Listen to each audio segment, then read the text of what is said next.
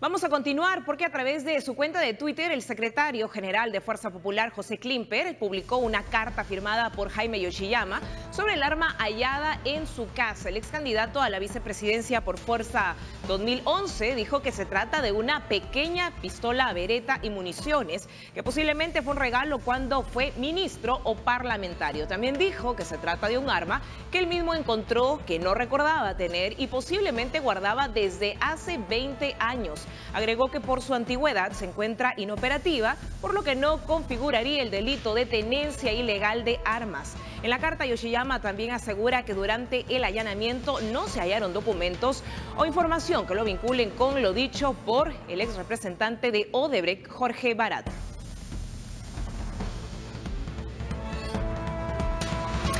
Esta madrugada, el fiscal de lavado de activos, José Domingo Pérez, se refirió al hallazgo de un arma de fuego y 2.000 cartuchos aproximadamente de calibre 22 y 38, de lo que mencionábamos en la casa de Jaime Yoshiyama, según señala el parte de la Policía Nacional.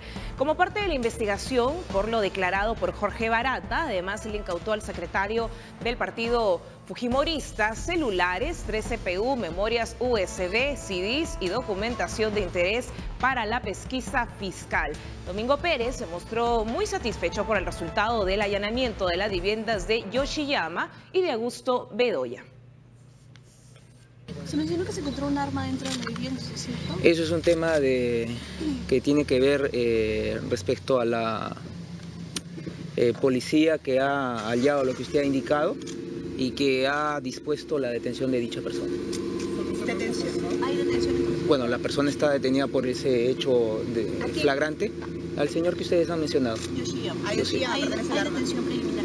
No hay detención preliminar, hay una detención flagrante porque ejecuta la policía eh, en el ejercicio de sus funciones. Es decir, ¿no tenía licencia para portar esa arma? Bueno, eso ya lo tendrá que ver la fiscal correspondiente, que entiendo que es la fiscal de Lima Este, que concurrió precisamente para tomar nota de estos ¿Va a asuntos. quedar aquí o lo van a trasladar? Toda persona que es detenida es trasladada a una dependencia policial, señor. ¿Considera productivo la diligencia de? Bueno, si no hubiesen sido tantas horas, mm, sería absurdo decirle que no ha sido productivo, ¿no? Ha sido eh, evidentemente muy productivo.